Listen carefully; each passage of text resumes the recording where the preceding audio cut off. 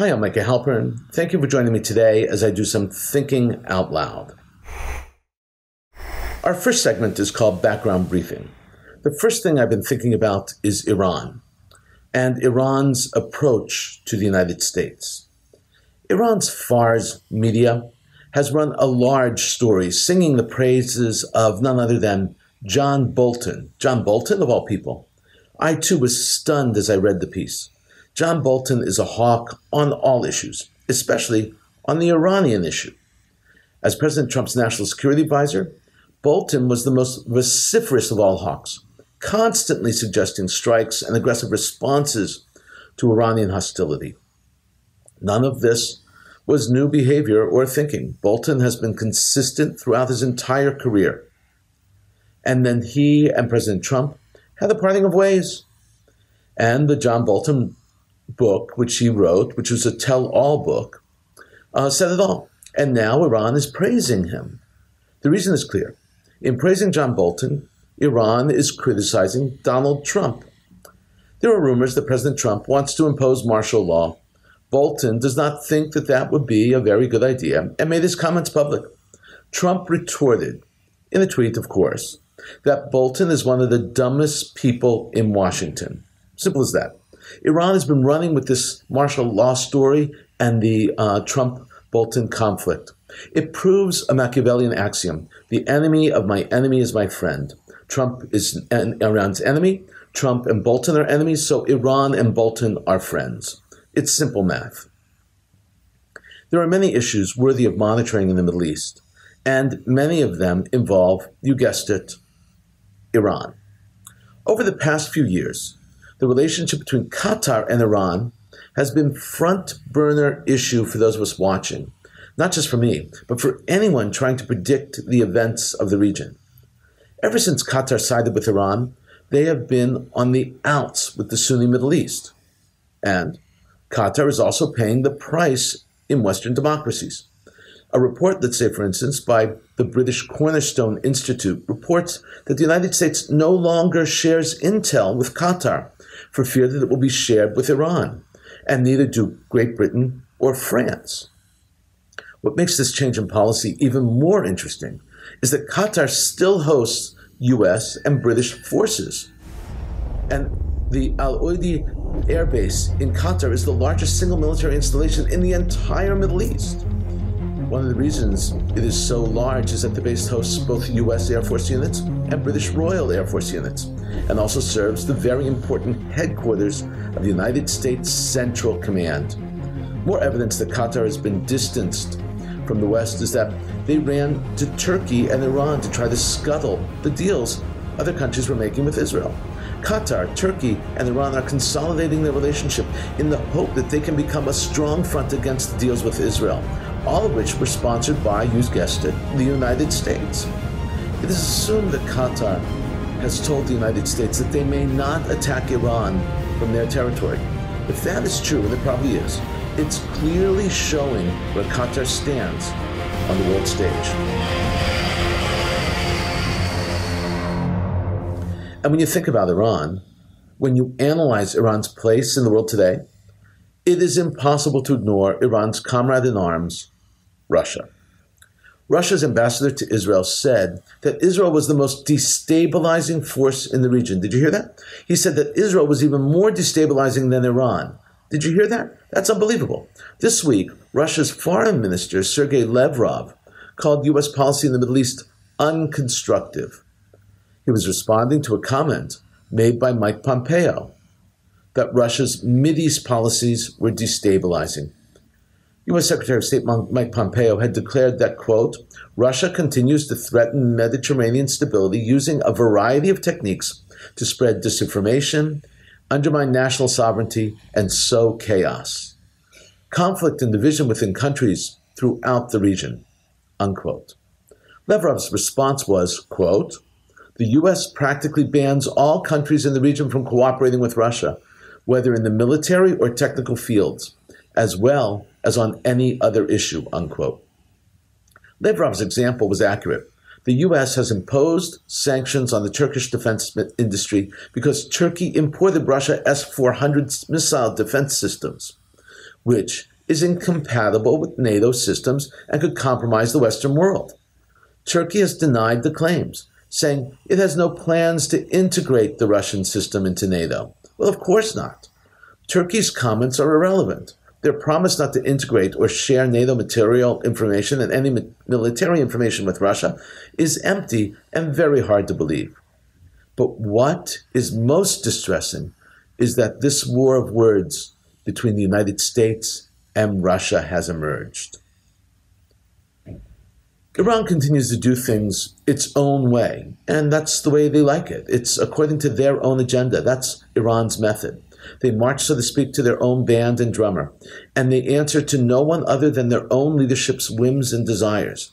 Iran has announced that they are planning to build two brand new nuclear facilities. The announcement appears to be revenge for the assassination of the father of the Iranian nuclear weapons program, Mohsen Fakhrizadeh. Now, this is important because these new sites will be up and running within five months. It could change the entire nuclear game. The first site is a laboratory that will deal with uranium in metal form. It is a mechanism essential in the making of nuclear weapons. The lab will have a heavy water reactor that can accumulate plutonium in its spent fuel. Richard Johnson, the senior director for fuel cycle and verification at the Nuclear Threat Initiative, a non profit organization, expressed his concern over Iran's plans when he said, and I'm quoting here, if either was to proceed, that is, either sites, that would stand out as a major proliferation concern, unquote. This is a serious issue for the world. Iran has said that it will shut the new facilities down only if the United States re enters the famous JCPOA, aka the nuke deal. Not content to leave it there, Iran is also planning to up their oil pumping production next year. As the beginning of the year, of the Iranian year, which means March, Iranian leadership plans to increase production to 4.5 million barrels a day. This happens in two stages. Stage one will take place now and extends through the Biden inauguration. First, Iran will increase their oil production to 2.6 million barrels per day. In stage two, they will double that to 4.5 million. Impressive as those numbers are.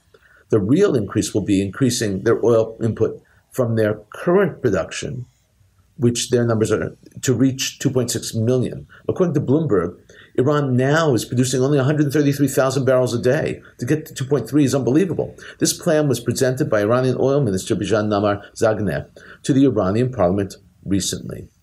Oil is the most significant component of Iran's economy, if you didn't know. They need to pump their oil and to sell their oil. These past few years, the Iranian economy has been crippled it will it looks like it's on the mend and their economy improves, so will Iran's threat and so will their nuclear program. That's enough about Iran, for now at least. As always, I've been thinking about Israel too, about Israel, the Jewish state, and her relationship with Arab and Muslim countries. A series of questions is emerging about normalization deals between Israel and some Arab countries, like Sudan, let's say. Sudan has a nasty history of perpetrating terror and supporting terror. They have a terrible human rights record, and they have made some of the most extreme anti Israel statements. Sudan has almost nothing to offer Israel. With that knowledge, it was not surprising to hear Sudan's foreign minister, Omar Kamar al Din, being interviewed on Al Hadath TV and saying that Sudan, quote, agreed to avoid a state of war with the Hebrew state, but we will not reach another state. In other words, a state of peace. As if that wasn't enough.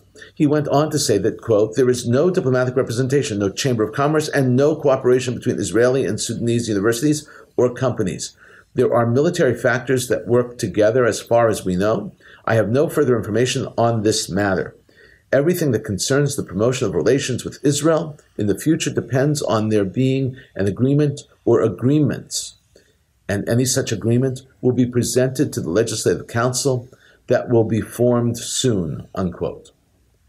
Lovers and supporters of Israel have become almost giddy over all the normalization deals Israel has entered into, but we must not and cannot, should not lose sight of the truth. Normalization is normalization Normalization is not peace. Coming up next, points of view. First up is a column from AP that also ran on ABC and in Al Jazeera. I took the version, this version from Al Jazeera. The author asks a deeply troubling question as it highlights part of the problem in the relationship between the Palestinian leadership and Israel.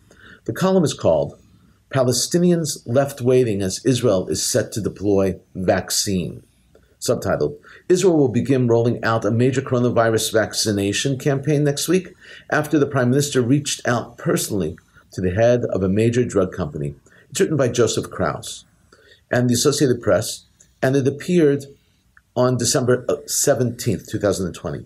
Krauss approaches all the important issues of the vaccine and speaks about the disparity between Israel and the Palestinians.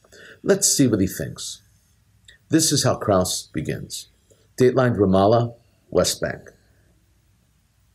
Israel will begin rolling out a major cor- uh, coronavirus vaccination campaign next week after the Prime Minister reached out personally to the head of a major drug company.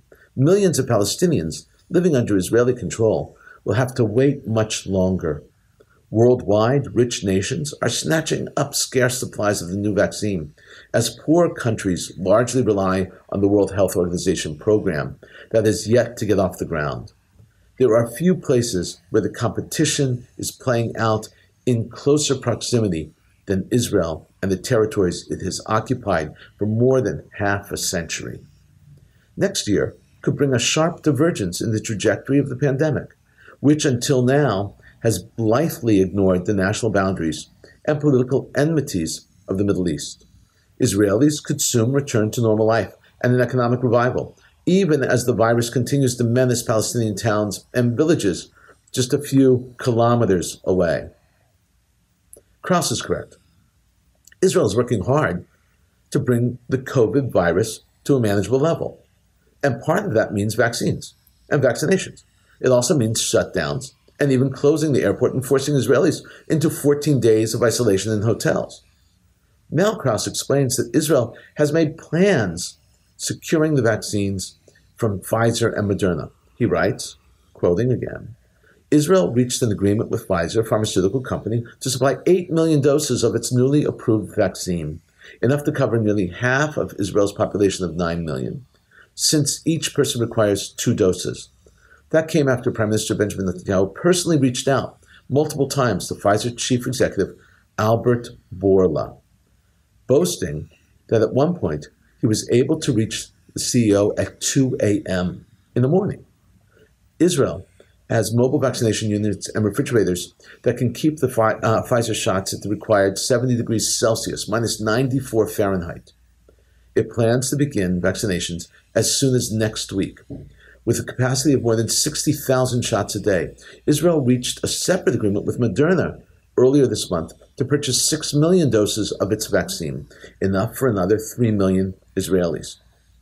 Now, there, uh, now here's the issue that Krauss presents. Israel is vaccinating Israeli citizens, but not Palestinians in the PA, he writes. Israel's vaccination campaign will include Jewish settlers living deep inside the West Bank who are Israeli citizens, but not the territory's 2.5 million Palestinians. They will have to wait for the cash strapped Palestinian Authority, which administers parts of the occupied West Bank in accordance with the interim peace accords reached in the 1990s. Israel captured the West Bank and Gaza Strip and East Jerusalem, territories the Palestinians seek for their future state in the 1967 Mideast War. I need to interject here. Interestingly, as of now, the PA, excluding Gaza, has had, in real numbers, very few cases of COVID deaths, and even cases. About 85,000 cases, and only 800 deaths. And, and then Gaza, which is home to 2 million Palestinians, had 30,000 cases and 220 deaths. Israel is also faring well, but not that well. They have reported 350,000 cases, including more than 3,000 deaths. Krauss and others are asserting that it's Israel's responsibility to deliver the vaccine to the PA and to Gaza. He writes Physicians for Human Rights Israel, a group that advocates for more equitable health care, says Israel has a legal obligation as an occupying power to purchase and distribute vaccine to the Palestinians. It says Israel must also ensure the vaccines don't meet its own safety uh, guidelines, like, Russia, like the Russian shot, are not distributed in areas under its control. Israel still maintains control over many aspects of the Palestinian lives, whether checkpoints, importing goods, medication, and controlling the movement of people, said Ghada Majadli, the director of the group's activities in the Palestinian authorities. The Palestinian health system, whether in the West Bank or the Gaza Strip, is in dire condition, mainly because of restrictions imposed by Israel. Unquote. There's a serious question here. The most significant issue is to see and understand that indeed Israel is far more powerful and wealthier than the PA and Gaza. And after Israel's needs are completed, they should help those less fortunate, no doubt. But the problem is that the Palestinians have been contentious and even worse towards Israel. That is especially the case with Gaza, but also with the PA, who, since the U.S. declaration recognizing Jerusalem as Israel's capital, they have been distant and removed and trying to sabotage Israel in the international arena. For humanitarian reasons, Israel should help, and I'm certain that they will, because that is what makes Israel so great and so special. But do not expect much, even a thanks from the PA or the international community. Next up is a column by Dimi Reider, and it was published in Newsweek on December 15, 2020. It's entitled The Abraham Accords Will Change Israel, Just Not in the Way You Think, and its listed opinion. Dimi Reider is a senior editor at Newsweek. This is a very long and detailed piece. For a column, it's especially long. For a Newsweek piece, even more so. Its essence is that there are some very good and also bad parts of the Abraham Accords, and the Palestinians are going to be hurt. This is how Reider begins. There have been two principal progressive critiques of the so called Abraham Accords the spate of peace and normalization agreements between Israel and the growing number of majority Arab Muslim states. First is that these states have abandoned the Palestinian cause and have given up their leverage over Israel for tuppence. Second is that all, the, all meaningless theater. Israel was never at war with any of these countries and has long enjoyed barely covert trade and or security cooperation with nearly all of them. Both criticisms only get it half right. This is indeed theater, but is far from meaningless. Far from giving up leverage on Israel, the signatories have increased there exponentially. Reider goes through the benefits Israel and the Gulf states will reap, but not the Palestinians. He concludes some of the newfound Israeli Arab amity is certainly vulnerable to uh, ricochets from the conflict. Imagine if in 20 years the Gulf states find it convenient, for whatever reason, to close the, the tap on Israeli trade and travel, say in response to yet another Gaza war. More importantly, there's a bigger realignment in play here. Pro Israeli writers celebrated the collapse of the Arab Palestinian solidarity this past year as the beginning of the end of the Arab Israeli conflict, musing that perhaps there wasn't much of a conflict there to begin with. They're right. But the flip side of this is an inevitable refocusing of minds on the conflict that very much does exist the Palestinian Israeli one. The useless shell of a civilization, Arab Israeli conflict, is beginning to be shed. The hard, incandescent core of the Palestinian Israeli conflict is beginning to emerge. The move is from a geopolitical chessboard to an intimate and visceral struggle with a vastly different power balance and a vastly more existential stakes. The problem with Reider is the problem with many who blame Israel and others for the failure of the PA to have a creative, productive society. They blame others, but not Palestinian leadership. They do not blame the PA leadership who refused to participate in the process and actually tried at every angle and every opportunity to sabotage the deals. Instead of joining and building, they wanted to destroy the growth and the process of expanding markets and normalization and even peace. Coming up, commentary through cartoons where pictures tell the story. I want to show you five images today. The first is a wonderful play on the couch potato. COVID has had many deleterious effects on almost everyone in the world. Many of us, although not all, are less active and more sedentary, and to our distress, have become couch potatoes. This cartoon depicts runners set up for a race, a marathon. The banner at the starting line reads First Annual Couch Potato.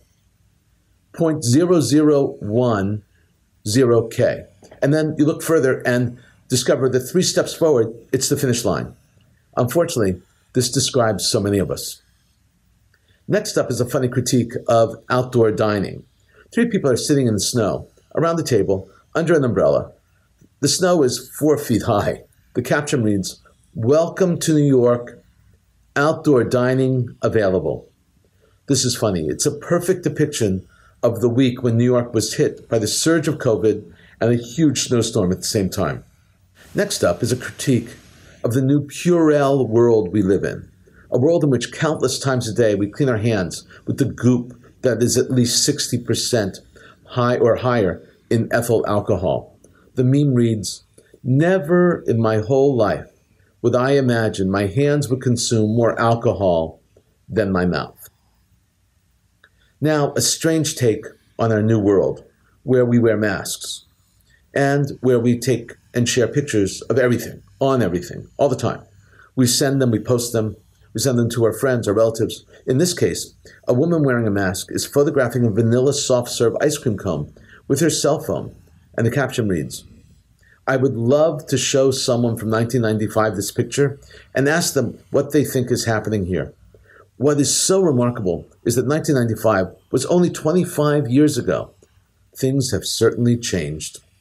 Last up is a tribute to 2020. Since September, people have been commenting about 2020 and how difficult a year it has been. Uh, that is an understatement. This meme says it all. A cake is cut. It's a chocolate cake, but it's in the shape of a toilet paper roll. The caption reads Ladies and gentlemen, I present you the official cake of 2020. In a moment, more of my own perspective and a few predictions. But first, this piece is actually from Newsmax, and I find it fascinating and want to share it with you. Here we go. References to the Middle East dealings were reportedly removed from a website of a consulting firm linked to two officials picked for the top posts in Joe Biden's administration. The Washington Free Beacon said both Denis McDonough, Biden's pick to run the Department of Veterans Affairs, and Jake Sullivan, who Biden chose to be his national security advisor, had served as partners at Macro uh, Advisory Partners. The Beacon described the company as a consulting firm that says it helps clients manage geopolitical risk. The firm, until early November, had touted its work helping a financial services company expand into the Middle East. According to the Beacon, which attributed its information to archived versions of the company's website, and the Beacon reported that the firm also said it helped clients manage the geopolitical economic volatility in the Middle East markets. Tom Anderson, the director of the National Legal Policy Center, a government watchdog group, said the deletion of information sparks questions about work that the Biden duo conducted. Quote, when politicians or officials are caught trying to hide something, there is a reason for their actions, he said, and continued. Usually, they see a bigger reward than the risks associated with scrubbing. Hiding motivations for seeking positions should raise red flags for oversight professionals and the media to expose potential conflicts of interest. Sullivan played a key role as the policy advisor in Hillary Clinton's presidential campaigns. No doubt there. McDonough was President Barack Obama's White House chief of staff. Macro advisory partners and Biden transition team did not respond to questions or comment for comment, as the Beacon reported. Now moving on. The Saudi state TV reported that Saudi-led coalition fighting in Yemen said it destroyed a marine mine laid by Iran-allied Houthis in the southern Red Sea, and that that mine is Iranian-made. This is significant because it means that Iran and the Houthis are no longer limiting their operations to in-person assaults. A marine mine is stationary and once placed will blow up when struck by a ship or a submarine. This is a game changer. We are being told that the recent massive hacking campaign disclosed by the United States was that uh, was the work of Russian government-sponsored groups, extended beyond users of the pervasive network software that had been compromised. The Department of Homeland Security reported that the spies had used other techniques besides corrupting the updates of network management software by SolarWinds, which is a company out of Texas. The software company ultimately is used by hundreds of thousands of companies and government agencies. SolarWinds' Orion supply chain compromise is not the only initial infection vector this APT actor leveraged. The Department of Homeland Security's Cybersecurity and Infrastructure Security Agency referring to the advanced persistent threat as adversaries. We don't know the level of this hack and how far it's reached. What we do know is that it's very worrisome, extremely worrisome.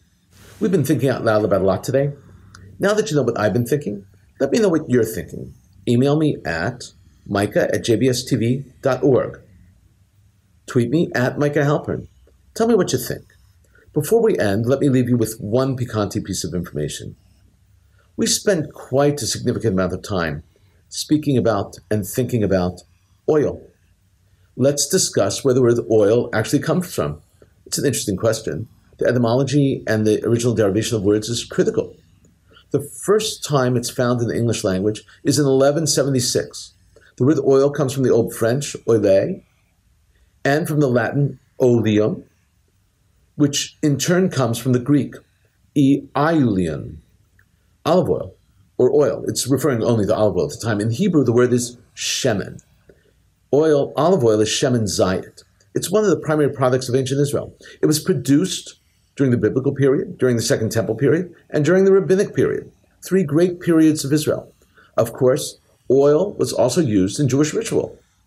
We have evidence that oil was made in Palestine and Israel.